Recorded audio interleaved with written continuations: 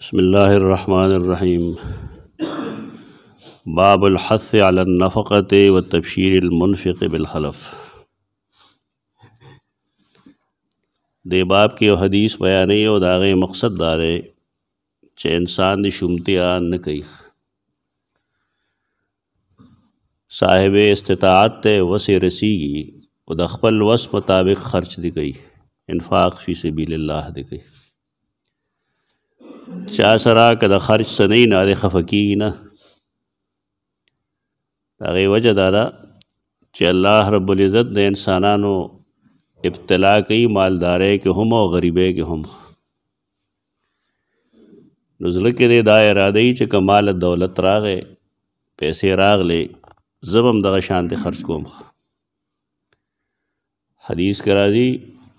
رسول الله صلی الله علیه وسلم فرمایي سړی که پسخیږي نو دوو کسانو ته و پسخیږي یو هغه سړی چې هغه الله د قرآن د حدیث د دین علم ورکړی دی هغه د هغې نه سهار او بیګا او شپه او دروازې خرچ کوي خلق هغې ته رابلي دعوت ورکوي نو دا سړی د پسخېدو سړی دی پس خېدو کې دای چې خلق بیا دا په شان د کار کوشش کوي کنه اسنه چې پس خېګه مرته د کار کوي هغه شان بیا مهنت کوي چې دل الله د علم او پوهه ورکړي دا نو دا خدا سي نه و چې د کور ناس ته پوهه شو بلکې دې لپاره د مهنت کړل دي مشقت کړل دي تکلیف کړل دي مالم پکاري چې زه په خپل هم مشقت تیر کم تکلیف تیر کم خپل بال بچ کم د دین ته وباسم نو الله بدا پسخیدل پسخیدلی دوی ماغه سره چې الله هغه له مال ورکړي او دا غي مال ناغه د الله په لار کې بیګا سوا هر ټیم چې کوم وخت ضرورت یوندې د خرج کوي دا دوه کسان د پسخېدو دي سړی دی وپسخېږي او کوشش دی کوي که نور څه نه نو کم سه کم زړه کې دی خدا اراده وساتي که چې که الله مال پوه راکړه الله مال مال دولت راکړه نو زه به هم دغه شانتې خرج کوم انفاق به کوم فی سبیل الله علم به خورم چا سره نه نه د هغې مطلب دا نه دی چې د مایوس شي مایوسه کېږي دی نه الله رب العزت په هر چا باندې هر قسم وخت راولي بعضې کسان داسي چې ډېر غریبانانی لیکن الله یې ډېر پورته کی مالی طور بعضې معتدل خلک یې غم مالدار کی او بعضې ډېر مالدار کی هغه زیرو باندې ولګي باټم باندې ولګي دا د الله ابتلاعات دي ته دې مقصد دا چې که سړي سره پیسې دي نو د هغه نه د ځان نه روکېږي ځکه ورکوونکی الله دی او که یو سړي سره څه نشته نو دی خفه کېږي نه ځکه دله نه ورکوونکی الله دی الله چې د بنده باره کې کومه فیصله کړي نو د انسان ذمه داري داره چې په هغې راضي شي خوشحاله شي چې د رب فیصله نه بدلیږي یته رضا بالقضا وي سورت لقمان کې قران مجید د لقمان حکیم ذکر کړل او خيار سړیو ا طبيب نه او ډاکټر نه دا درو وي خلک او خيار سړیو په عقاید او اعمال او اخلاق باندې پوهیدو حکیم په دغه معنی ده دا موږ چې طبيب ته حکیم وایو دا خو د اوسنی دور پیداوار ده د رسول الله صلی الله علیه وسلم زمانه کې به طبيب ته طبيب وي حکیم نه ودا حکیم مخيار سړی ته وي قران ته القران الحکیم وای نو ده سکه طب کوي څه طبيب ده دا حکمت والے کتاب ده او خيارتوب والے کتاب ده خو پښتو کې اردو کې حکیم صاحب حکیم صاحب وایي نو موږ وایي چې لقمان حکیم او هغه داسې به دا داسې نه وو دا پونه مونه دا کیسه کول دا ټول دروغ دي ګپې لګي خلک هغه خپل زوی ته څه وصیتونه کړي په کې یو وصیت ته وصبر علی ما اصابک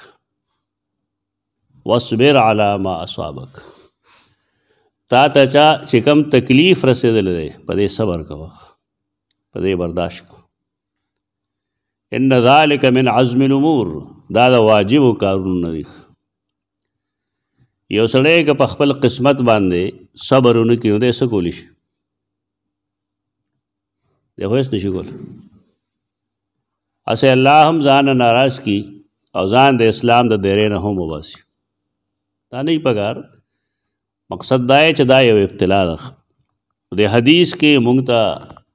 دا خودنه کوي چې یو بنی آدم له الله پیسې ورکړي دي ناغه د هغې نه خرج کوي او د الله په لار کې دي او بیا د هغې دپاره د رسول الله صلی الله علیه وسلم چې کوم جملې استعمالي ډېرې عجیبه دي سیدنا ابو هريره فرمایي رسول الله صلی الله علیه وسلم فرمایلی دي ان الله عز وجل قال قال الله عز وجل ان الله عز وجل قال الله تعالی فرمایلی دي د پیغمبر هر حدیث وحی لیکن کله کله رسول الله صلی الله علیه وسلم دا غي په ابتدا کې دا غي نسبت الله ته کوي د دې د پاره چې د خبره کې زور پیدا شي د تاکید د پاره چې زور پیدا شي په خبره کې سوی الله انفق انفق عليك انفق خرج کوا تاسو سره چې څومره پیسې دي یا خرج کوه د خرج لپاره موږ پور نه بشارتن سو اصول ویلو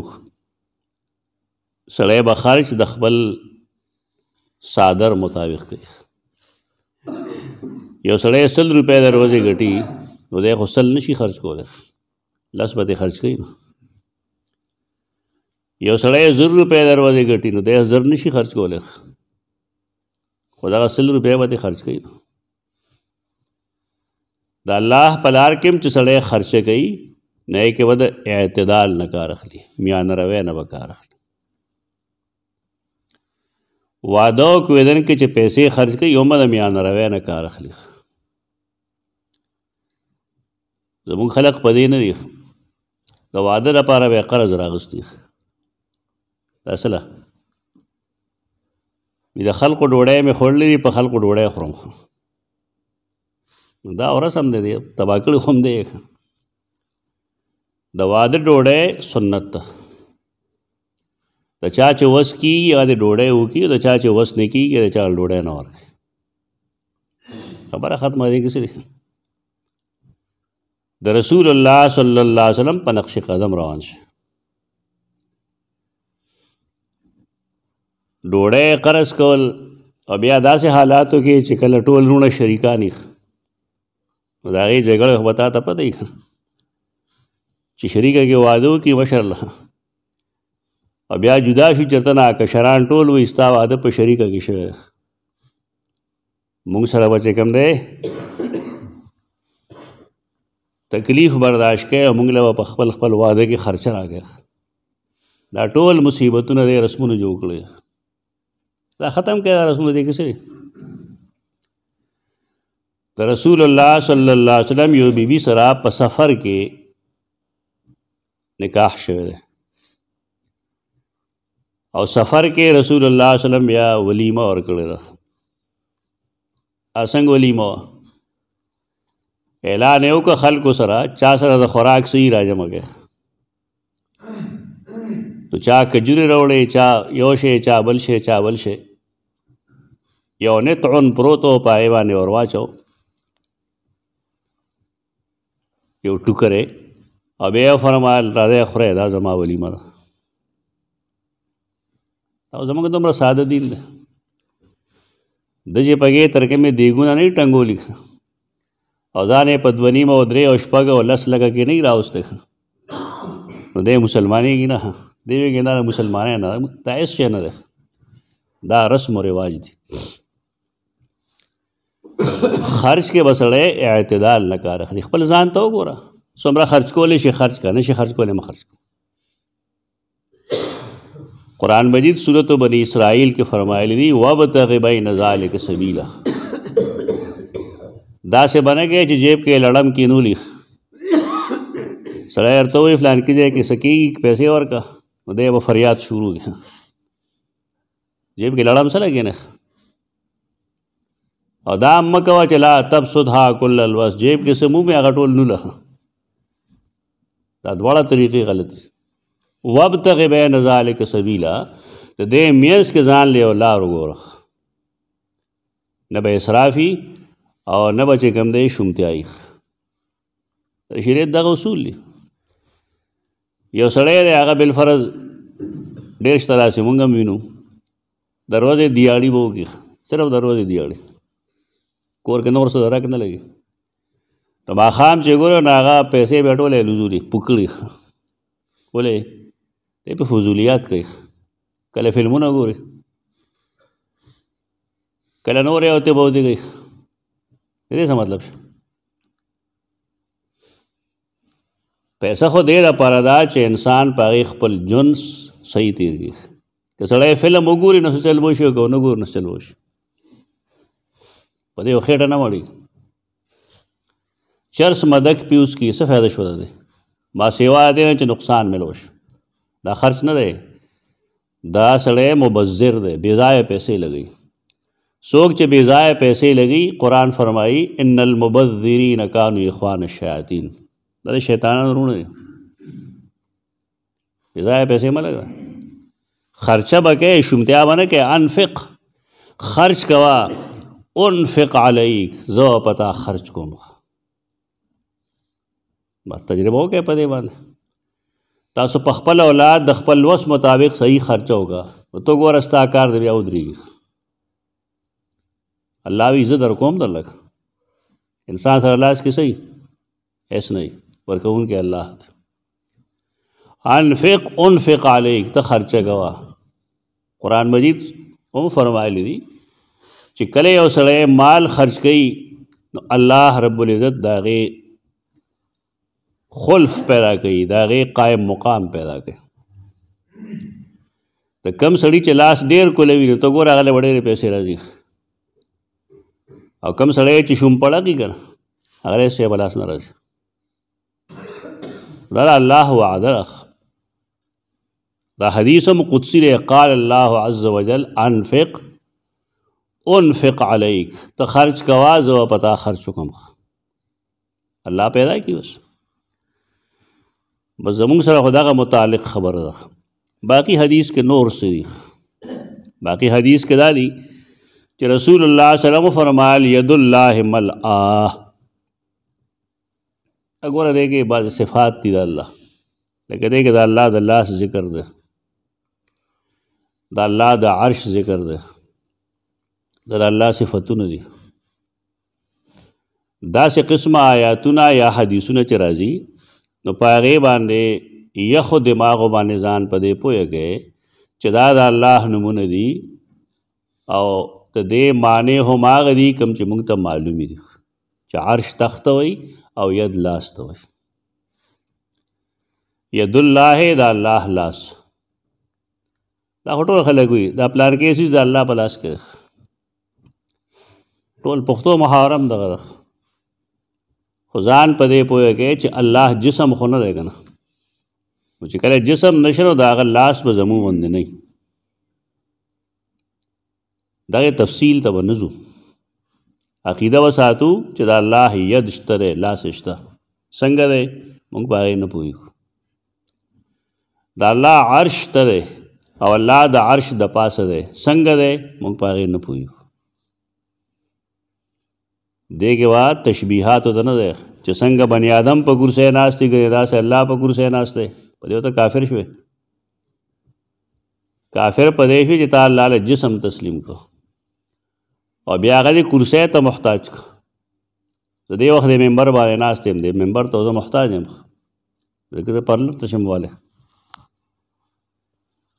نو الله په عرش باندې لیکن زما او ستا غوندې نه کله چې ذهن کې دا راځي نو هغه د خپل ذهن لا جوګي دا غلط ذهن ده دا الله د لاس باره کې حدیث کرا دی دا الله دو لاس دی وکلتا یدیه یمین او دا الله دواړه لاسونه خی لاسونه دي انسان په شان نشو کنه په دې ایمان ساتل ضروری دی بل بل خوا به نه دی چې د الله داسې لاس دی څنګه چې زما لاس دی دا خوږېږي او دا اوږدېږي او دا پلنېږي دا څیزونه به نه وي الله پوه دی که پوه نه دی علیم دی الله بصیر دی لیدونکی دی نو ته به څه وایې چې څنګه زه په سترګو وینم داسې الله هم په سترګو ویني دا سوچ شیطانی سوچ دی دا شیطانی سوچ به نه کوي دا الله خپل صفات دي پاره مونږ نور نه پويګو قران او حديث کې چې مونږ ته سویل دي بس هغه وایو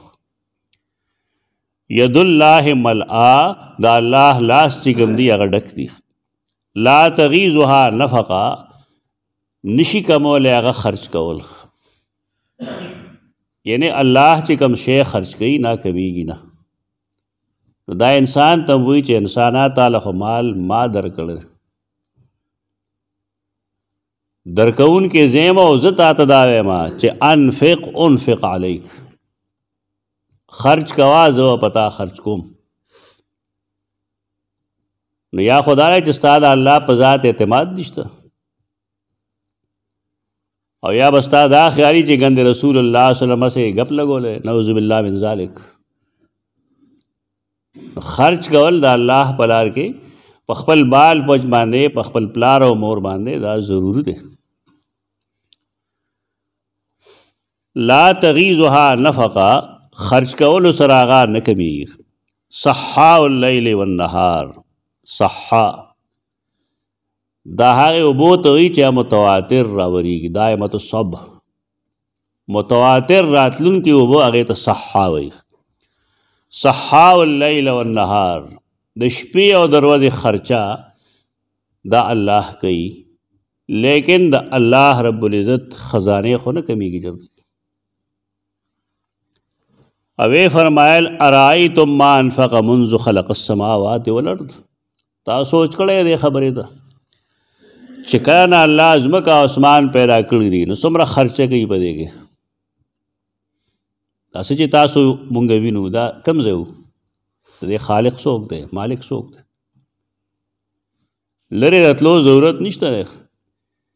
زمونږ پلار مور به طور نعمت و زمونږ زمونږ بچي الله به طور نعمت مونږ له راکړل دا څوک راغی نو په دې دا خزانې کمې شوې قرآن فرمایي ام من شیء الا عندنا خزائنه مونږ سره دا هر سیز خزانې دي کمې انسان کې دی په کارداري چې دی د رب نه څه وغواړي که نه سوال لتی و کی و دی جاړی ورته سر د سرتور کی ورته مینت ته ورته کی انسان له غختو چل نه ورځي الله سمره سجونه ور کوي بیا دې ته وګوره اکسیجن دا غسیز دی چې دا مونږ پر سپېمو راخو یوازې مونږ نه کا زناور دی او کا غوونی دی کا بوټی دی دا ټول سيزونه اکسیجن ته محتاج دي دا پته لا غو لګي د اکسیجن د قیمت چې د انسان پیپړې او زړه کار پری نه به ورته اکسیجن لګي کنه پاره یو سلندر سره خرچ راځي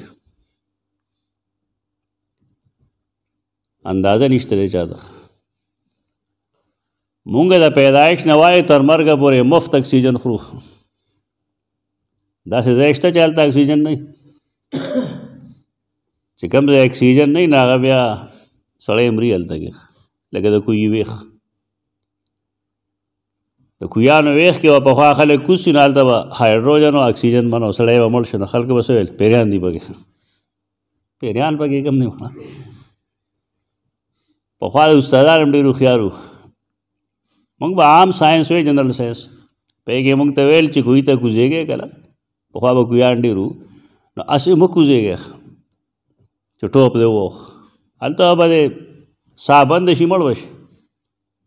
ایت بل لاټین کوسکه چې لاټین پکې مړ شي نو ته پوه شه چې دلته کې اکسیجن نشته نو څه طریقه به څه شی ورته غورځېد څه به کوم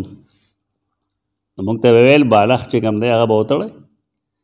اوبو ته به یې ورسوی او یو لسته ځله به یې بره ښکته کړی داسې د هغې سره هغه ګیسونه چې کوم دی د هغې واپس کې تبادله وشي بیا به څوک دا نه وایي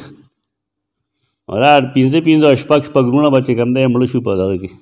د حاجي پیریانو مړ کړی په کوی کې پیریان څه کوي مړ پوهه ښه څیز دی خو چې الله چاله ورکړي دا د پیریانو کار نه دی نو بهر کې الله رب العزت خپل ټول نعمتونه مفت ورکوي صحا اللیل والنهار متواتر ورکوونکی دی د شپې او د ورځې څه نه ورکوي خلکو له آرام ورکوي روټۍ ورکوي سړی سوچ وږي د خپل کلی وای نه په خپل کور باندې سوچ وکړه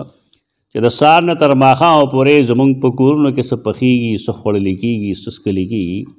دا کوم ځای نه راځي انسان خو د هغې ذریعه دی پیدا کوونکی خدای نه دی پیدا کوونکی خو جدا ذات دی